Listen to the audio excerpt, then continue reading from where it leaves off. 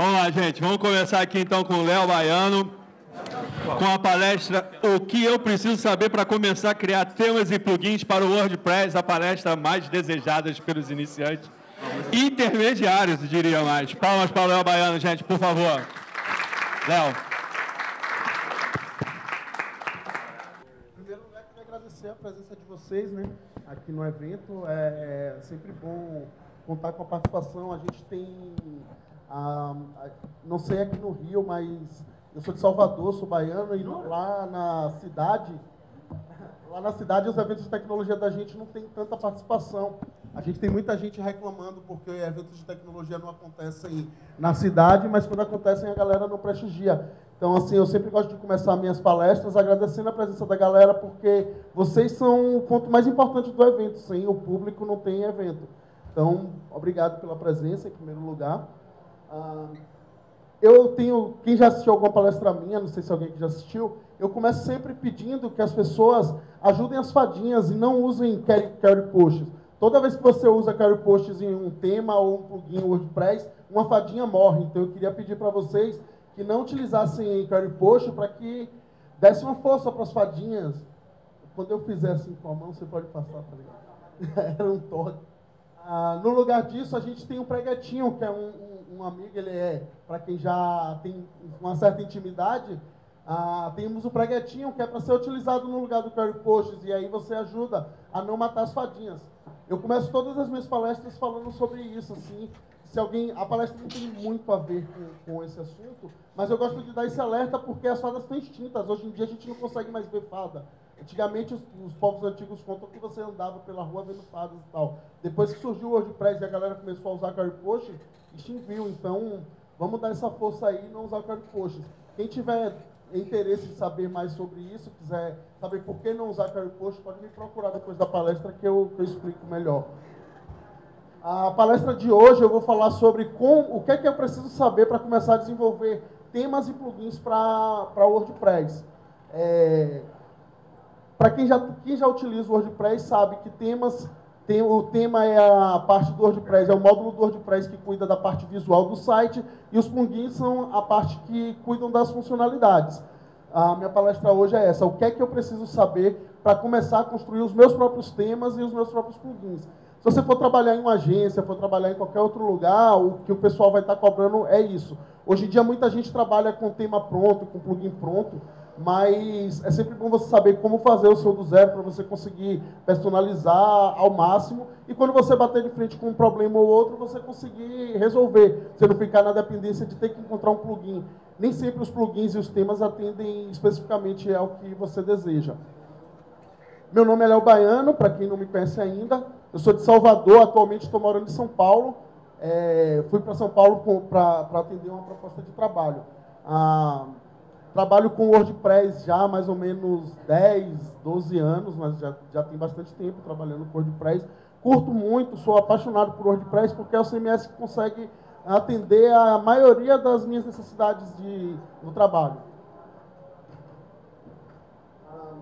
Inicialmente, qualquer projeto, qualquer projeto que a gente vai trabalhar, a gente precisa, antes de começar a meter a mão na massa, a gente precisa montar a estrutura dele e fazer um planejamento. Alguém, um sábio, que eu não, não vou saber dizer o nome ao certo hoje, eu já li uma frase que disse que se precisasse de cinco dias para cortar uma árvore, ele passaria três desses dias amolando o machado. O que, é que seria isso? Amolar o machado seria justamente fazer esse planejamento. E com o WordPress não é diferente. Quando você vai desenvolver qualquer projeto WordPress, a primeira etapa é planejar como é que você vai fazer aquele projeto. É entender o que é que o projeto é, quais são as necessidades dele, o que é que ele precisa, e aí você começa a fazer um planejamento de como você vai resolver cada necessidade daquela, como você vai atender cada necessidade e resolver cada problema. Eu separei alguns itens aqui, que são os itens que são os principais para você desenvolver, são os mais, os mais utilizados normalmente.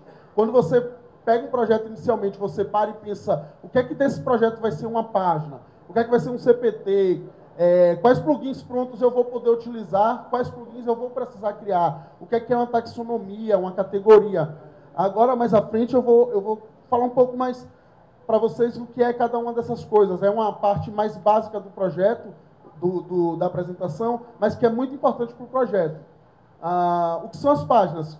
Normalmente, quando o cliente define para você um site, aí ele, fala tudo o que, é que ele vai querer. Né? Eu quero uma seção que vai ter notícias, eu quero um blog, eu quero uma galeria de fotos, eu quero uma página que tem um formulário de contato e tal. Então, assim, as páginas no WordPress são mais ou menos esses conteúdos que são mais institucionais, mais estáticos. São a página com formulário de contato, a página do sobre a empresa, se for uma página de um artista, é a página do quem eu sou. É uma página que você vai montar um conteúdo só para ela ali, no máximo você vai editar aquele texto uma vez ou outra, não é uma página que você vai estar sempre publicando. Ah, então, primeiro, primeiro passo do projeto é você definir isso. De todas as necessidades, de todas as demandas, o que vai ser uma página? E aí você vai lá e anota no caderninho separado quais são as páginas.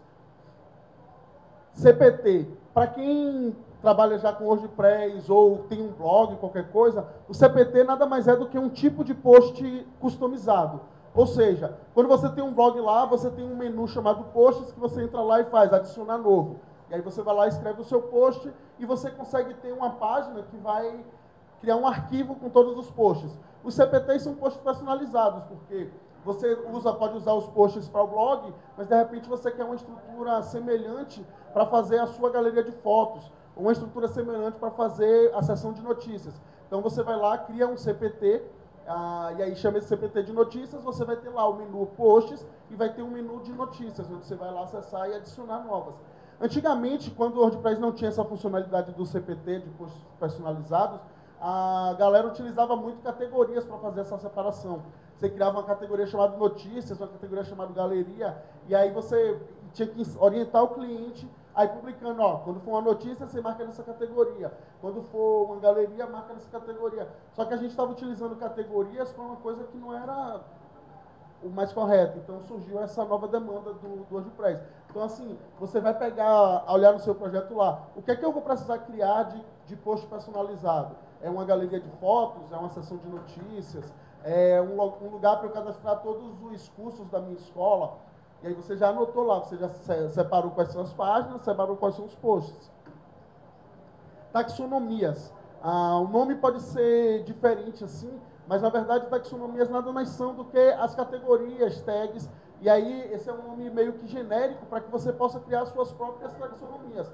Por padrão, o WordPress já traz um tipo de post, que é o post, e traz uma taxonomia, que é a categoria que a gente conhece.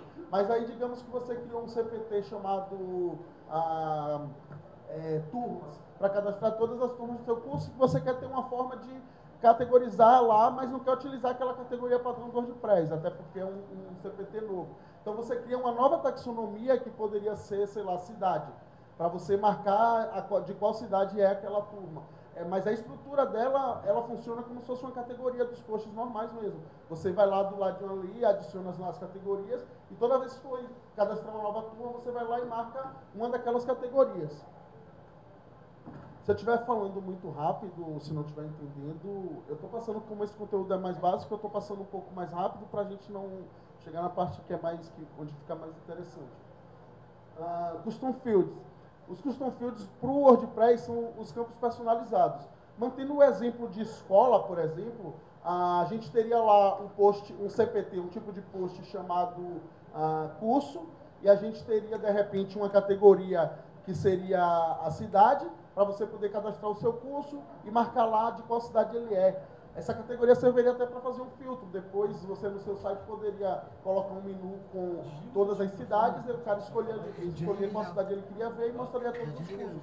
Nesse contexto, os campos personalizados seriam os campos que o WordPress não traz como padrão. Quando você vai criar um post no WordPress, ele já, ele já traz ali o título, traz a descrição, traz um campo de resumo, aí traz imagem destacada. Só que você, para o seu curso, você quer um campo para você poder cadastrar a ementa ou de repente a, a bibliografia do, do curso. A, então você cria um campo personalizado lá, e aí toda vez que for cadastrar um novo curso, vai estar lá o campo de, de biografia. Então isso também faz parte do planejamento. Ah, no momento que você definiu que cursos vai ser um CPT, com as categorias de cidade, e aí você precisa de um campo para cadastrar biografia, você anota já lá. Custom Field, vou precisar de biografia para o CPT tal, que é o CPT de, de, dos cursos. E, por fim, a gente precisa fazer um relacionamento entre todas as algumas etapas desse, algumas, algumas sessões desse projeto. Por exemplo, ah, se eu tenho um curso, eu tenho turmas também. Então, digamos que eu tenho um, um curso, pode ter várias turmas.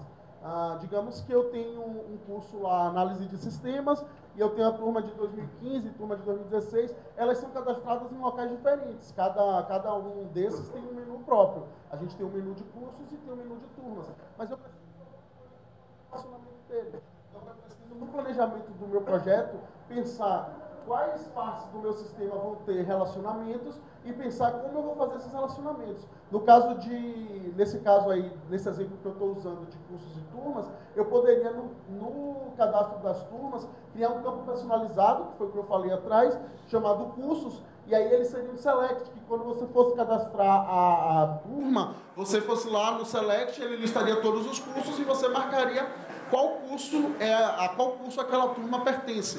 Isso é importante porque em algum momento no seu site você provavelmente precisaria listar isso, de o cara clicar no, no menu de cursos e visualizar todas as turmas, ou se ele estiver acessando a turma saber qual curso aquela turma pertence. A gente tem uma etapa também que é, é importante. O WordPress tem diversos plugins prontos que a gente pode utilizar para as mais variadas funcionalidades. Então, uma etapa que a gente não pode descartar é essa etapa de tentar definir quais plugins prontos a gente vai utilizar e quais a gente vai precisar desenvolver. Uh, eu, particularmente, tenho minha, minhas preferências por plugins prontos. Cada, cada pessoa, à medida que você vai trabalhando, você vai a, você trabalhando em projetos diferentes, você começa a perceber que todos esses projetos precisam de alguns plugins em comum. Eu costumo utilizar poucos plugins prontos, porque eu trabalhei muitos anos em agência e a agência tem muitas necessidades específicas. E o plugin, plugin pronto ele é feito para atender demandas gerais.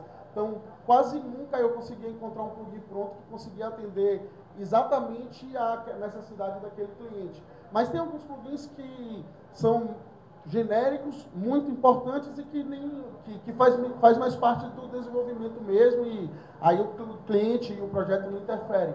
Eu gosto sempre de usar o ACF, que é um plugin que facilita muito a criação de campos personalizados, que foram os custom fields que eu falei, que são os campos que você adiciona nos posts lá, ou em qualquer CPT, ou até nas páginas. São campos extras, ele facilita muito. Eu uso também o Yoast SEO, que é o plugin que já ajuda a fazer SEO. Tem uma lista de plugins de segurança que eu gosto de, de colocar. Tem um que adiciona o CAPTCHA lá na tela de login, que já... Isso, esse plugin do CAPTCHA é interessante vocês usarem na tela de login, porque ah, só de cara ele já ajuda bastante a prevenir ataques de força bruta que são ataques onde ah, o, o, o, atacante lá, o hacker, ele roda um script que fica testando várias senhas, no, testando o login com várias senhas no seu, no seu site. Com o CAPTCHA você já dá uma maneirada nisso daí, você já pré, consegue prevenir um pouco. Então, esses são plugins que eu costumo utilizar, porque não interferem em nada no projeto, são plugins que meio que rodam mais de, de plano de fundo. Mas é uma etapa importante também, você sentar e definir quais são os plugins que a gente plugins prontos que a gente vai precisar para esse projeto. E aí faz aquela relaçãozinha lá. Isso tudo eu estou falando ainda da etapa de planejamento. Nesse momento aqui, a gente praticamente não está fazendo nada no computador. A gente está meio que. Você pode estar anotando no computador, mas você não está lá já instalando um plugin ou fazendo download, nem nada. No máximo você está usando esse tempo para pesquisar. Você sabe que você vai precisar de é, mais performance. Então você pode fazer uma pesquisa e é, procurar por plugins que ajudam nessa performance.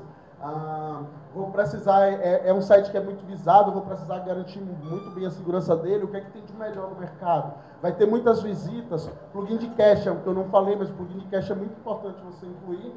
Ah, o plugin de cache ele ajuda, quando você tem um site com muitas visitas, ele ajuda a melhorar e não, não deixar com que o banco caia ou que dê problemas de acesso. E aí, por fim, você tem, depois que você definir os plugins prontos, Aí você vai para a etapa dos plugins que você vai precisar é, desenvolver.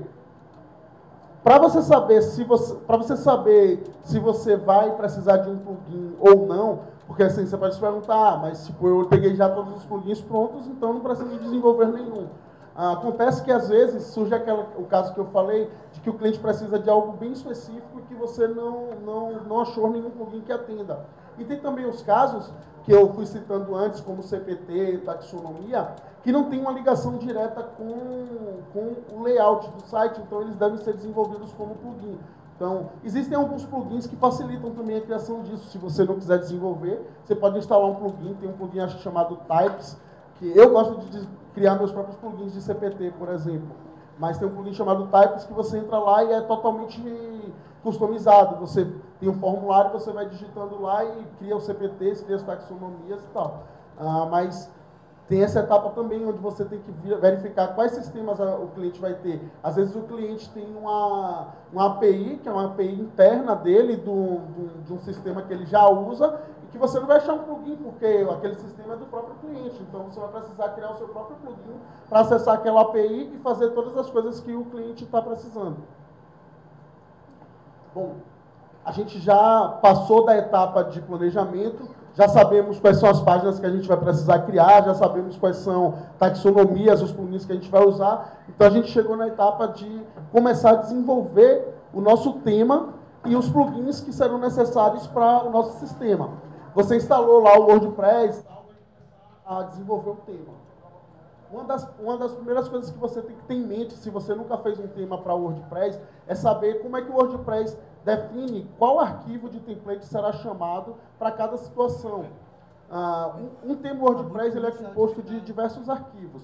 Cada arquivo desse, ele corresponde a um template. E cada template desse é utilizado em determinado, em determinado caso. É o que a gente chama de hierarquia de, de templates do WordPress. Quando você acessa a página lá de notícias, por exemplo, por trás do WordPress tem um algoritmo para verificar qual arquivo vai, vai ser carregado para mostrar aquela, aquele visual daquela página. É isso que é utilizado para garantir que você consiga ter um visual na página de notícias e um visual totalmente diferente na página de contato, por exemplo. Ah, basicamente, o WordPress analisa qual página está sendo acessada e segue a hierarquia de template que a gente vai ver mais à frente para definir qual arquivo vai ser chamado. É, esse, esse, esse arquivo é do próprio Codex WordPress e ele mostra qual que é a hierarquia que se segue. Um exemplo que eu vou dar para vocês entenderem um pouco melhor como funciona essa hierarquia.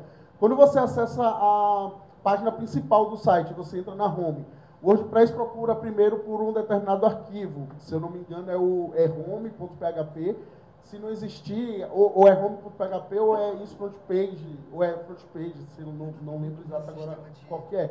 Mas aí ele procura o home.php, se ele não existir, ele vai para o index, para index.php. To, todos os, todas as páginas que você acessa no WordPress, no final ele cai no index.php. Então o index.php é um arquivo que você faz meio que com uma prevenção de você garantir que se você cometer um erro e não construir o template de uma determinada página, o usuário não vai cair em uma página nada a ver. Então, você constrói o seu index lá e depois vai construir as outras páginas. Quando você acessa a página de uma categoria, por exemplo, a categoria notícias, primeiro o WordPress procura por, pelo ID, né, categoria traço id.php. Se ele não encontrar, ele vai para o Zoom, categoria traço notícias.php.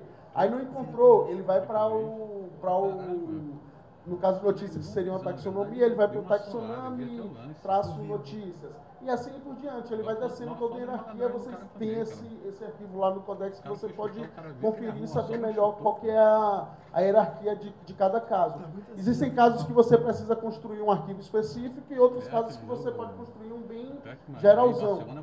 Por exemplo, ah, se todas as categorias do seu site têm o mesmo visual, não tem por que você criar um, cate um category traço notícias, category traço Brasil. Você não precisa criar um para cada, você cria logo o category que é o mais genérico que pode ter para a categoria, e aí ele vai ser utilizado para todas as categorias.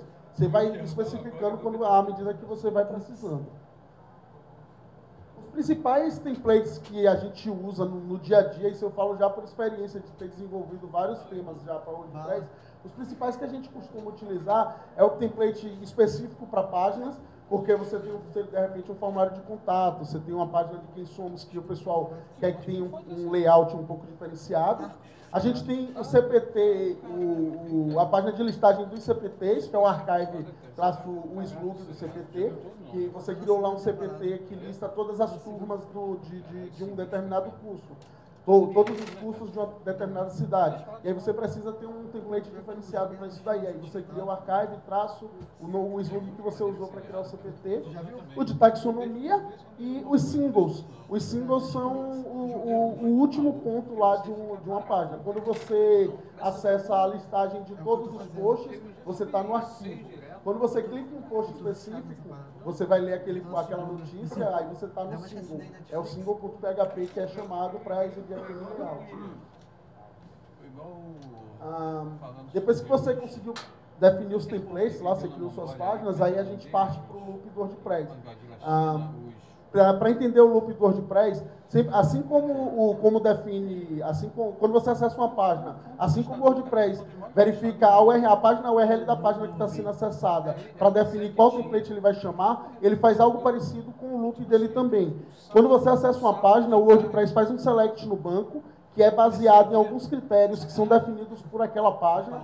Por exemplo, quando você acessa a página de uma categoria, ele faz uma busca no banco para trazer todos os posts daquela categoria. E aí ele usa outras coisas, por exemplo, a quantidade de posts que vai, que vai vir nessa categoria é a quantidade que você definiu lá no painel administrativo. Então, ele tem todos os critérios para fazer um select no banco e trazer os posts, e esses critérios dependem da página que está sendo acessada.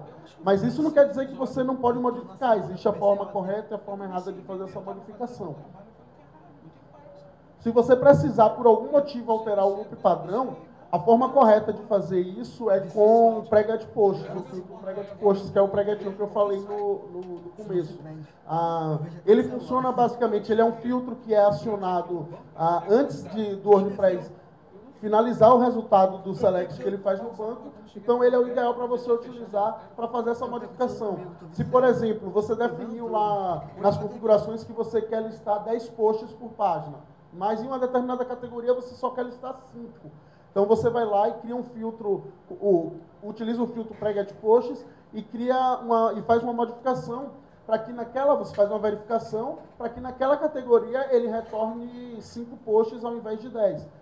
Ah, ele é utilizado para diversas. Muita gente não utiliza, costuma utilizar o query posts lá, que é a forma antiga, e depois termina tendo vários problemas com paginação, com outras coisas, porque o query posts não, não serve para esse propósito. Às vezes ele funciona, mas não é assim, não é porque ele funciona que é, que é a, a, forma correta. Às vezes ele funciona, às vezes não. E aí quando ele não funcionar, você vai ficar perdido sem saber o porquê e vai ficar lá horas e horas se batendo tentando corrigir um erro que foi causado pelo simples fato de você não ter utilizado a forma correta de, de desenvolver e modificar o padrão do WordPress.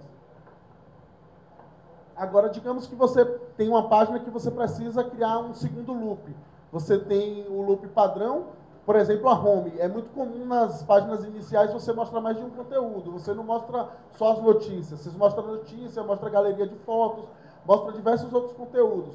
Então, para criar um segundo loop em uma página WordPress, você tem que criar uma instância nova da WP Query, que é a classe que, que cuida desse select no banco para retornar os posts.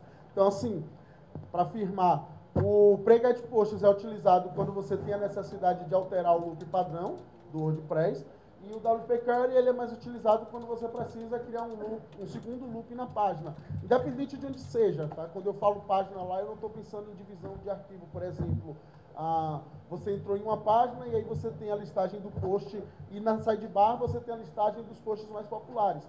Esses posts mais populares é um segundo loop.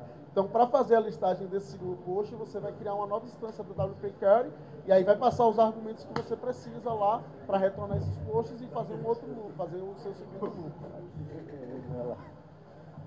A estrutura de templates, basicamente, do, do, WordPress, a estrutura de templates que eu digo, aí eu já estou entrando no código do arquivo mesmo, ela basicamente é dividida em, em header, que é o cabeçalho lá, o topo, uh, tem o conteúdo, a sidebar, que é opcional em algumas, em, na home, por exemplo, muita gente não usa, não usa normalmente aparece em páginas de listagem, páginas de arquivo, e o, o rodapé. Por algum tipo de padrão de desenvolvimento web, de layout, de alguma coisa. Se vocês forem analisar, a grande maioria dos sites segue essa estrutura básica. Você tem um cabeçalho que se repete em, todos, em todas as páginas e você tem um rodapé que também se repete em todas as páginas. Ah, aí, fora isso, vem o miolo, que aí esse miolo é que varia um pouco. Você tem lá o conteúdo da página, em algumas tem o conteúdo de uma sidebar, em outras só tem o conteúdo, e aí o visual desse miolo muda. Mas o topo e o, e o rodapé costumam se repetir. Diante disso, faz bastante sentido você separar o template em mais de um arquivo e você só chamar. Porque imagina, se eu tenho lá o meu topo, que tem um menu, e aí eu repito ele em todas as páginas. Em todas as páginas eu copio o código e vou colando lá. Se eu preciso mudar alguma coisa em uma página em um determinado dia, no, nesse, nesse topo, vou ter que sair mudando em todas. Então, no template, na templatização do, do, do WordPress, a gente tem essa divisão. A gente tem o header, tem o footer e o miolo. Então, você basicamente cria um arquivo e, chama ele no, em todos os outros lugares onde você vai usar. Se você amanhã ou depois precisar fazer a manutenção, você vai só nesse local o, os, os, os, arquivos, o nome dos arquivos normalmente para o header é header.php, uh, para o rodapé é o footer.php. Então, digamos que você vai criar a página do a single, a single que é a página que lista o conteúdo de um post. O usuário acessou seu post lá pelo Facebook e caiu naquela página. Então, você vai ter o header, vai ter o cabeçalho, vai ter o rodapé, no miolo você vai ter o conteúdo e uma barra lateral. Vamos pensar nessa estrutura. Então, assim, em termos de template, você criaria um arquivo chamado header.php, criaria um arquivo chamado single.php, que é o arquivo que vai ser chamado pelo WordPress quando acessar a página de um post, criaria um footer.php, que é o código do rodapé, e o sidebar.php. E aí, no, no código, basicamente, aquilo ali é o código de, uma, de, uma, de um template WordPress. O getHeader, que é a função utilizada para chamar o arquivo header, o getFooter, que é utilizada para chamar, e o getSidebar, que é para trazer a sidebar lá. E ali onde eu deixei comentado o loop WordPress, é onde você colocaria o código do seu loop, o código HTML para fazer com que, com, com, com que o visual fique da forma como o seu designer lá preparou. Os arquivos fundamentais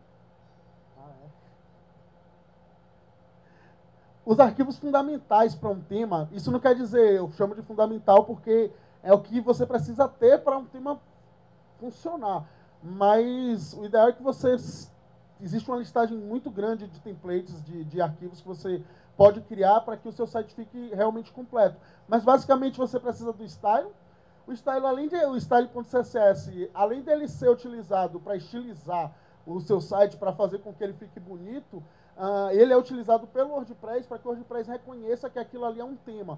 Então, você precisa criar um style.css na raiz do seu tema e colocar um cabeçalhozinho lá, um, um, cabeçalho comentado, que é onde você diz o nome do tema, você diz os autores, a descrição. E é baseado nesses comentários que o WordPress sabe que aquilo ali é, é um tema WordPress, para que ele apareça no seu painel administrativo. O header.php, que é o que eu expliquei, ele, ele é, atualmente ele é obrigatório. Se você deixar o, você consegue fazer um site só com index, sem fazer essa separação que eu falei, de header e, e footer. Mas se você fizer isso e colocar o debug do WordPress como true, ou seja, ele está em modo de desenvolvimento, vai aparecer uma mensagenzinha lá para você no tema dizendo que a partir da versão X é obrigatório o uso de header e o uso do footer. Então, eu considero como um arquivo fundamental. Você tem que criar o header.php, que é onde você vai colocar o seu cabeçalho. O footer.php, que é onde você vai colocar lá o, o rodapé. O index.php, que eu já falei, ele é o arquivo que é chamado por último lá, sempre que o WordPress não acha outros arquivos. Então vocês estão vendo que eu não tenho um page.php ali. Então, se você acessar o endereço de uma página que só tem, que o, cujo tema só tem esses arquivos, o WordPress vai procurar pelos pages, pages, page ID, pageslug, page.php, não vai achar nenhum desses e ele vai cair no index.php. Então ele vai trazer o layout que você definiu lá.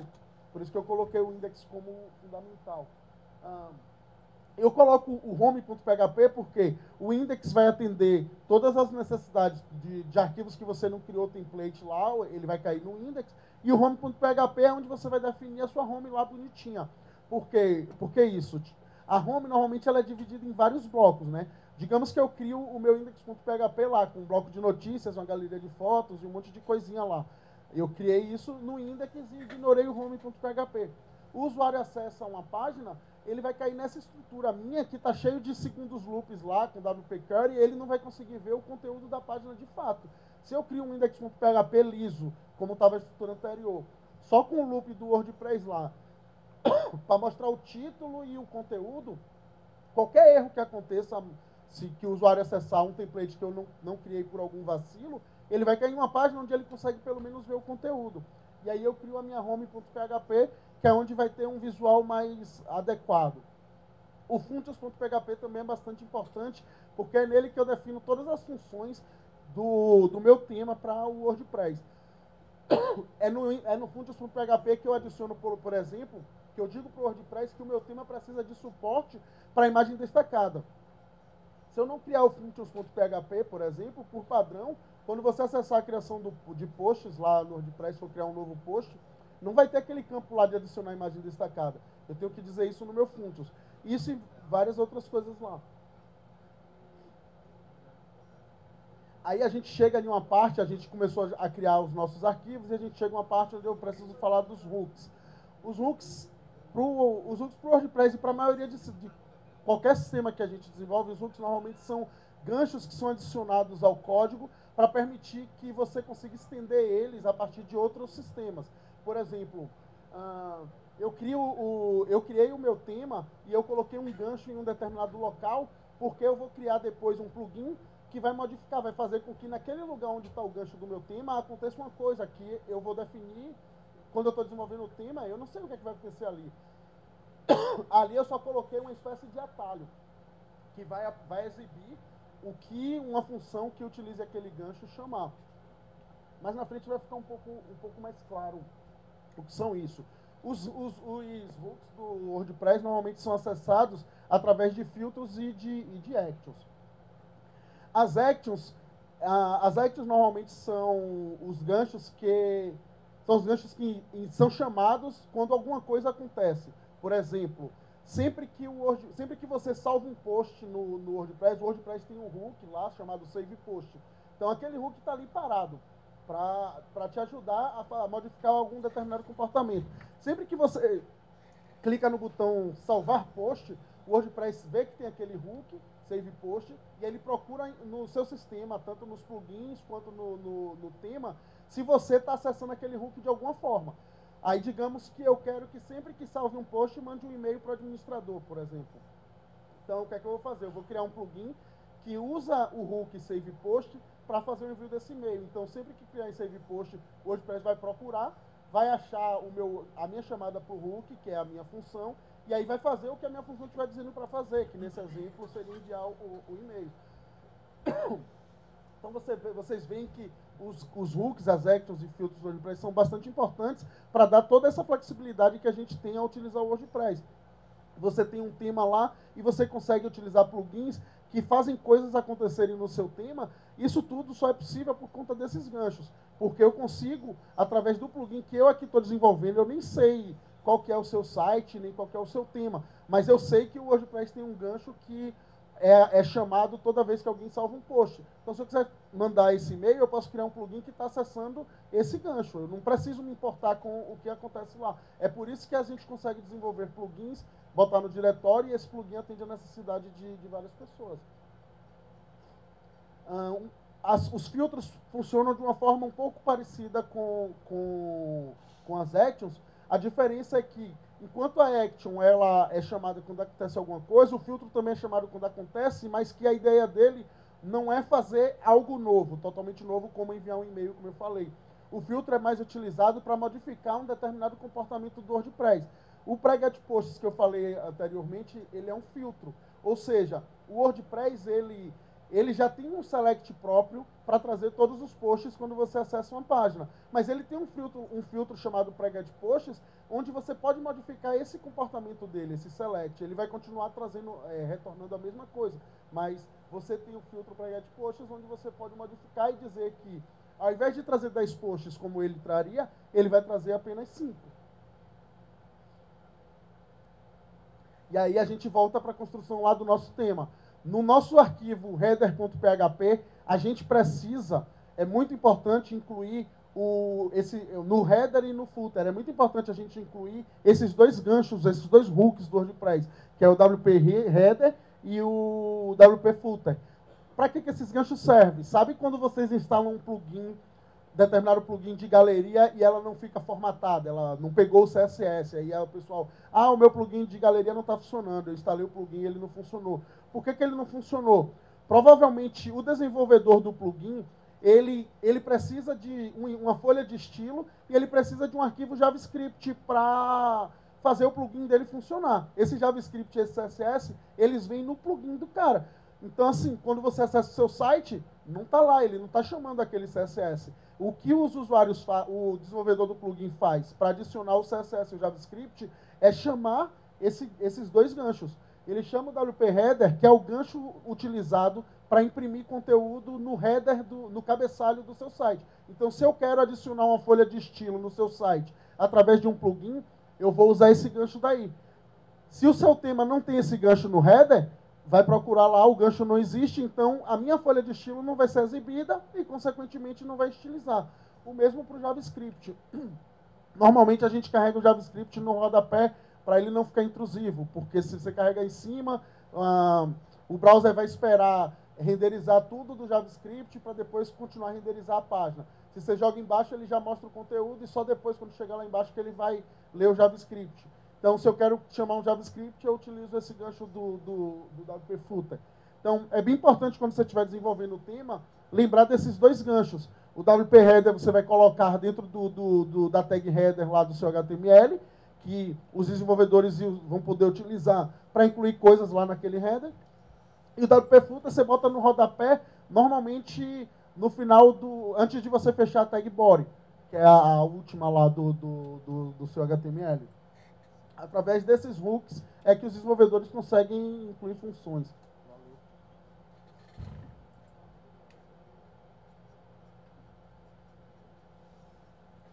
Essa é a minha primeira tentativa, galera, de fazer uma palestra um pouco mais séria. As pessoas que me conhecem sabem que as palestras que eu costumo fazer nos WordCamp são palestras mais. É, então, mais stand-up. Então, a, eu, eu fiz uma palestra, eu inventei de fazer uma palestra com um amigo meu, que a gente desenvolveu um projeto na. Eu trabalho na Isto atualmente, na editora 3. A gente desenvolveu um projeto lá que a gente achou bacana e aí eu convidei ele para fazer a apresentação junto comigo. Ele falaria do design e eu falaria da, do desenvolvimento daquela funcionalidade. Só que ele, era, ele é muito mais sério, então a minha palestra era mais brincalhona e eu utilizei aquele template da fada no começo. E aí ele, ah, cara, mas você vai botar uma fadinha, vai botar fadinha no, no, no...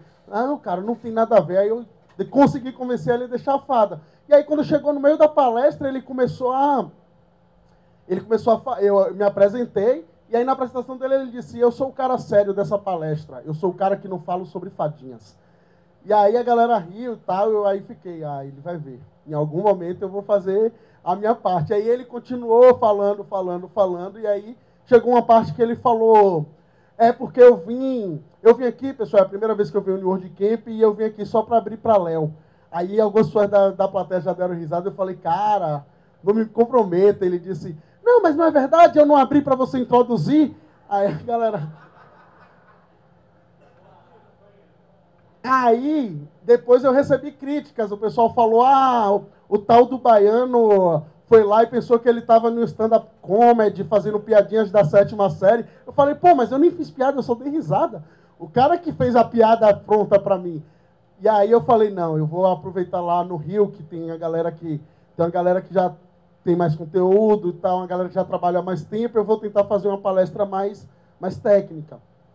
Aí estou falando muito e terminei. Isso tudo foi para explicar por que eu estava precisando de água, viu, galera?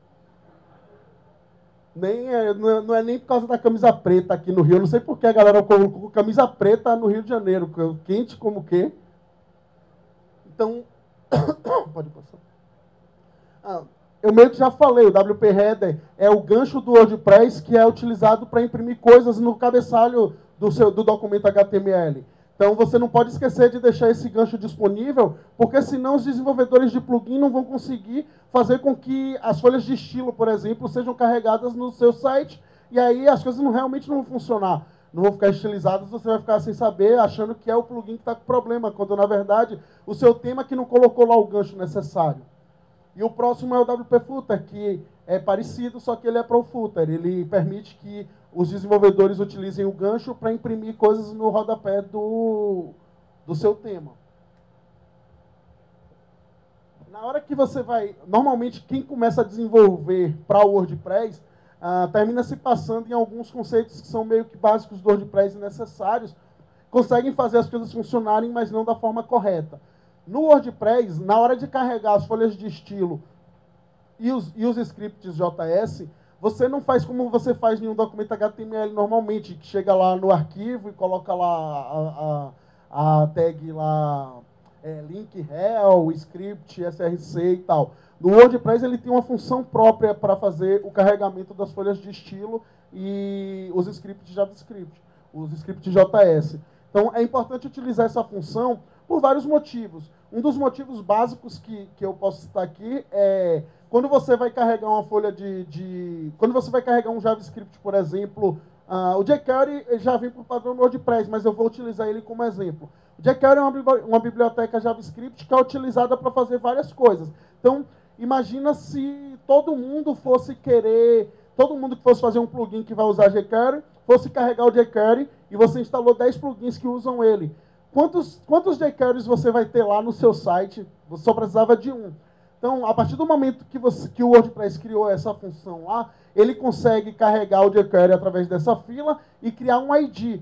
Então, o desenvolvedor de, de plugin, ele não precisa chamar o jQuery, ele só precisa dizer que o JavaScript dele precisa do jQuery, depende do jQuery. Então, através dessa, desse, desse esquema de enfileiramento de arquivos do, do WordPress, ele consegue resolver esse problema, onde os desenvolvedores eles não precisam uh, chamar arquivos que são mais comuns em todos os plugins dele. Ele só precisa dizer para o WordPress que aquele código dele depende disso. Então é muito importante vocês utilizarem essa função, a WP Enkel Scripts. Ela é a função, ela é uma action, ela é uma action que vai chamar uma função e aí dentro dessa função você usa o WP Enkel Style e o WP Enkel Script, que são as duas funções que carregam arquivos CSS e arquivo JavaScript. Agora, claro, ela vai funcionar, ela só vai funcionar se você lembrar de colocar aquele hook lá, o WP Header e o WP Footer lá no, no seu tema, quando você estiver construindo o header e o, e o footer. No, ainda no desenvolvimento de tema, tem algumas coisas que o WordPress traz para facilitar a nossa vida na hora de estilizar o visual. Ah, entre, eu considero uma das mais importantes são as classes que o WordPress cria automaticamente em alguns locais do, do, do site. Por exemplo, quando você vai construir o seu, o seu tema lá, você tem a tag body. Existe uma, classe, uma função do WordPress chamada body class, que quando você utiliza ela, o WordPress automaticamente adiciona algumas classes para você poder chamar no CSS. Algumas das classes são lá o ID da página, se o usuário está logado ou não. Então, digamos que você, por algum, por algum motivo maluco lá, você quer que quando que o usuário só consiga ver o conteúdo quando ele estiver logado e você decidiu que vai fazer isso via CSS. Você sabe que o, o WordPress adiciona a, a classe logadin sempre que o usuário está logado e você utilizou aquela função body class.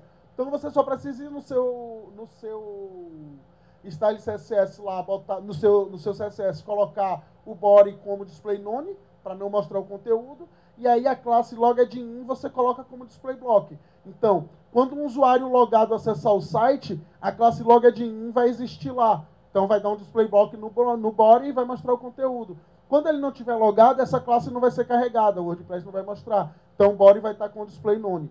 A mesma teoria você pode utilizar, sabe, para aquela galera que faz aquele efeito que a, o G1 inventou e a galera segue, de cores para categoria. Tipo, esportes é verde, a, é, amor é rosa e tal. Então, de repente, eu tenho uma habilidade né, com as cores, você ligou?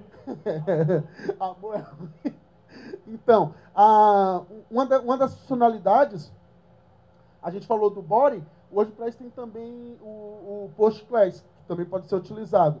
Então, o post class, ele adiciona, o body também adiciona, mas o, ambos adicionam o ID da categoria. Então, o que é que você faz? Você tem lá a categoria esporte, você sabe que o ID dela é, é 10. Então, você cria no seu CSS, category traço 10, a classe lá, e coloca que é verde. Category traço 11, que é o amor, você coloca que é rosa.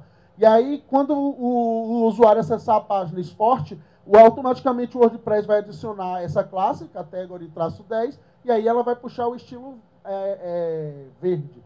Quando ele puxar o, quando ele acessar o amor, que é o 11, vai puxar o rosa. Então, assim, o WordPress tem essas, essas funções que adicionam classe CSS que vão te ajudar a estilizar melhor o seu tema.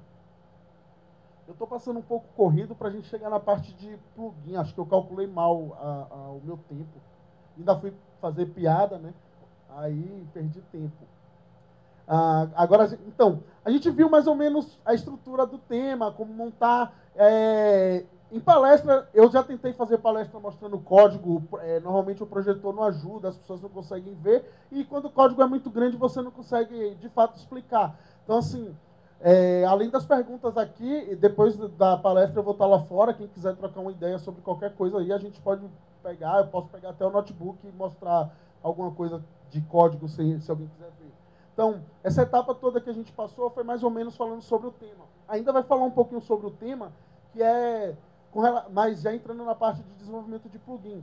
Muita gente fica em dúvida quando está começando com WordPress se deve fazer um plugin ou se deve colocar a função no functions.php. Tem gente que acha até que, que fica em dúvida até, ah, é, não instala plugin não, bota no Functions, porque senão o site vai ficar muito pesado, a performance vai ficar ruim.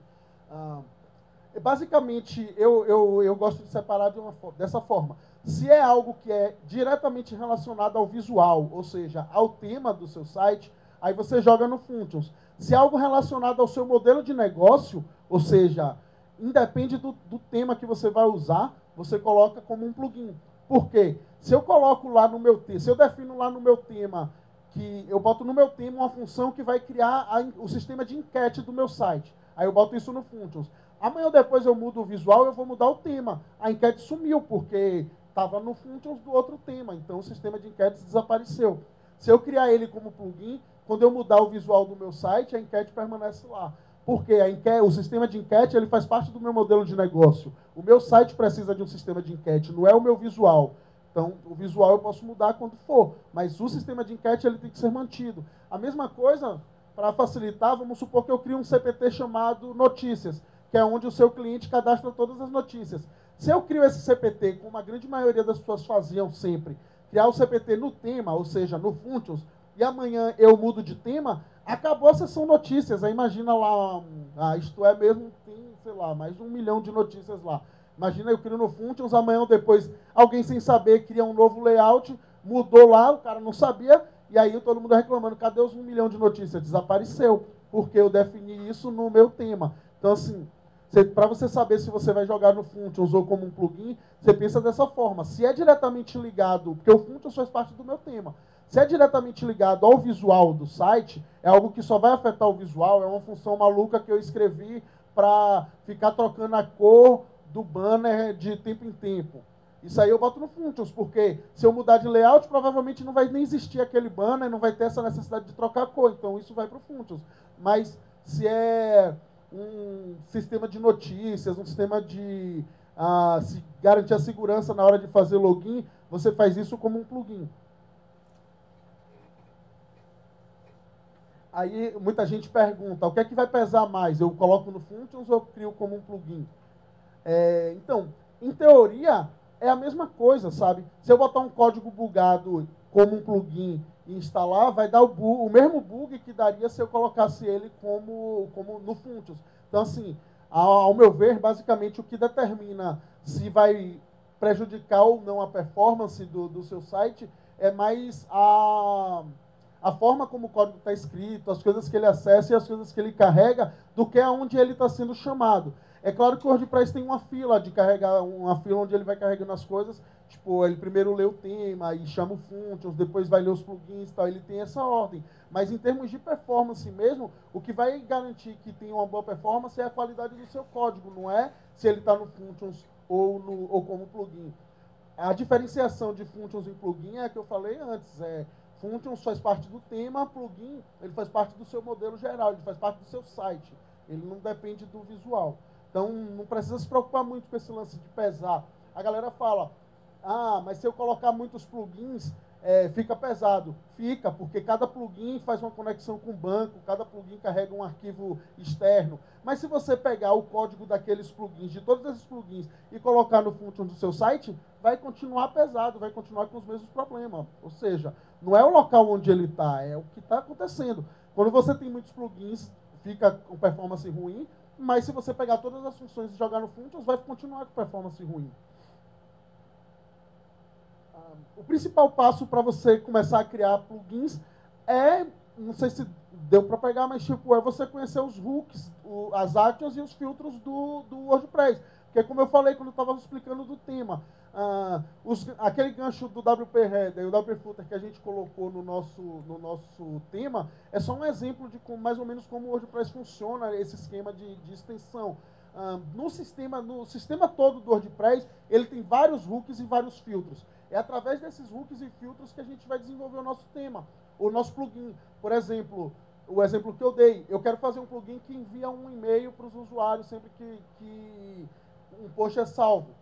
Eu tenho que saber que o WordPress, qual é o hook que o WordPress tem que possa fazer isso para mim. Aí eu vou procurar, tem lá a save post, update post, aí eu penso, ah, update post, eu quero que o, update post ele é uma action que é chamada toda vez que edita ou salva um post. Mas eu quero mandar esse e-mail toda vez, ou só quando criar. Ah, o save o WP insert post. O WP insert post só é uma vez e tal. Ah, o, w, o save post, ele toda vez é chamado, mas ele passa um parâmetro onde você consegue ver se é uma atualização ou se é um post novo. Já me serve, porque dentro da minha função eu faço um if e verifico se é post novo ou atualização. Então, assim, o primeiro passo para você começar a desenvolver plugins é esse, é você conhecer os hooks do WordPress, as actions e os filtros. Para finalizar, que o tempo está acabando, dá, dá, posso falar, 10 minutos na estante, né? Eu, eu coloquei um exemplo, um, um exemplo só aqui de, de, um plugin, é um plugin bem antigo. Eu fiz esse plugin uma vez, eu estava no fórum do, do, do WordPress lá, eu gosto de entrar lá e dar uma ajuda para a galera. E aí eu fiz esse plugin porque uma pessoa estava, uma, uma menina, ela queria colocar um botãozinho que quando você clicasse, rolasse para o topo da, da página, algo assim. E, e aí eu falei, ah, é fácil, você faz JavaScript assim, assim, assim. Só que ela não tinha conhecimento nenhum de, de programação. Então eu falei, ah, mas é, como é simples, vou fazer um plugzinho. E aí a brincadeira que eu queria mostrar para vocês é isso. Ah, vamos criar um plugin que ele vai adicionar uma imagem flutuante no rodapé do, do, no rodapé do, do site e que quando ele for clicado, leva o usuário para o topo. O que é que a gente precisa? que é que eu vou precisar, eu como desenvolvedor, eu vou parar para pensar, o que é que eu vou precisar para fazer esse plugin?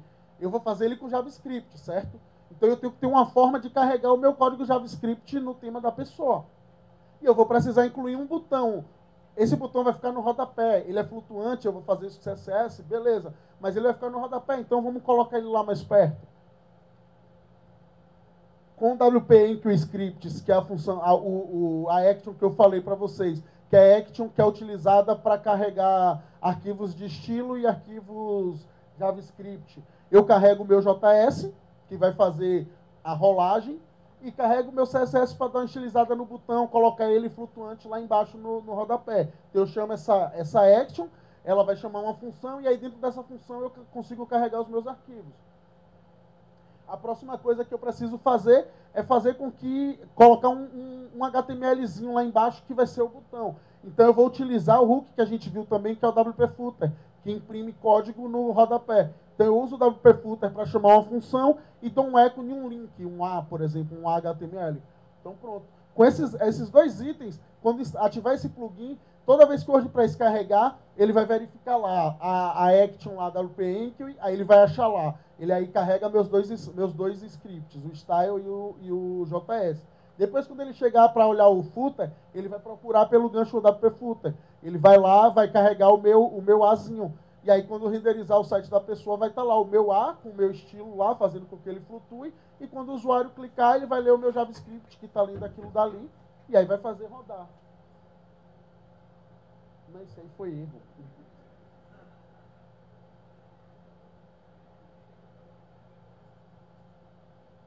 Então, é isso aí, galera.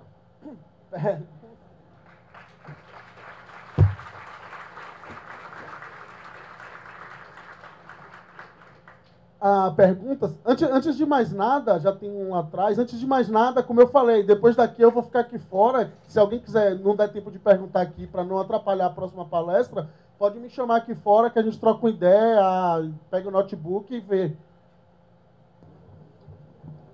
Não faça muito difícil, não. Pergunta muito difícil, não. É, só mesmo Vai valer ponto essa pergunta? não, só é, é, afirmar o que o senhor falou. Você tem um plugin que eu achei bastante interessante, que é, eu não me lembro o nome, o dele agora, mas ele remove o category e bota o nome da categoria, injeta o nome da categoria. Isso e, é, exemplifica bastante o que você acabou de falar de regra de negócio. Sim, é, tu pode botar isso no tema, tudo bem. Mas se eu trocar de tema, vai dar caô e vai dar problema. Então, eu uso os plugins, instalo, pô, show de bola, funciona. E é algo bem simples, como você falou. É algo que funciona dentro da regra e se eu trocar, se eu trocar o tema, não vai dar caô. Então, é, é, é, é esse, esse plugin é a coisa mais perfeita que você acabou de falar agora. Pois é, se você colocar isso no Functions, você pode colocar, é um código simples para fazer. Mas se você colocar isso no Functions, ele dá problema, porque quando você trocar de tema, vai perder essa funcionalidade e vai começar a apontar para o URL com category. Aí você vai perder toda a indexação no Google, você vai ter vários problemas. Mais alguém? Pera, tem que fazer no microfone, porque está gravando. Opa, eu estou começando agora. A pergunta que eu vou fazer está totalmente fora do que você falou aí. Não sei se vai poder responder. Eu, fico em dúvida se eu uso um tema mobile first ou mobile ou um tema responsivo ou um tema mobile first. Qual, em qual projeto eu uso um ou outro? Ah, então, é, primeiro, eu acho que você fez meio, meio que uma confusão aí. Ah, Temas responsivos são, são layouts que eles respondem ao dispositivo. Ou seja, quando você acessar um dispositivo mobile, no celular, ele vai ter uma, um, um visual adequado para aquele, aquele, aquele tamanho de tela, por exemplo. Quando você acessa no desktop, ele vai ter uma outra coisa. Isso são temas responsivos, ou seja, eles respondem ao dispositivo. Se você acessar na TV, que é maior, aí ele já consegue usar uma imagem estourada e coisa e tal. No mobile ele remove aquela imagem porque fica muito pesado ou, fica muito grande. Isso é tema responsivo.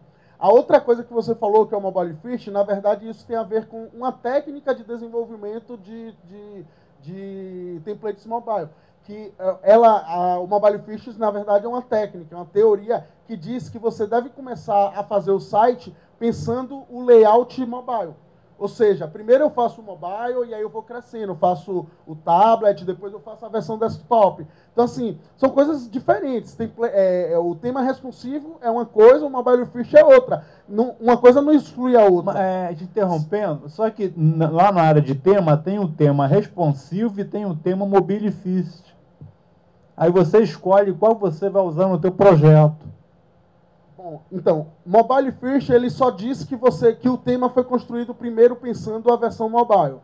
Ele é responsivo da mesma forma. Então, os dois da Os mesma dois são responsivos. Eu não sei por que, que tem essas duas tags. Tá? Mas lá na, na... Até porque Mobile First, para mim, mim, como usuário, não me interessa mais. A Mobile First é uma coisa que interessa mais o desenvolvedor. Mas eu que vou escolher o tema, eu não estou muito preocupado por onde ele começou, sabe? E Mobile First simplesmente é uma teoria que diz que você deve fazer o site primeiro pensando no mobile e ir aumentando.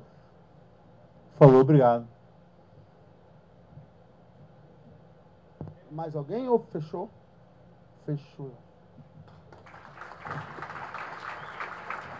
Obrigado, Léo.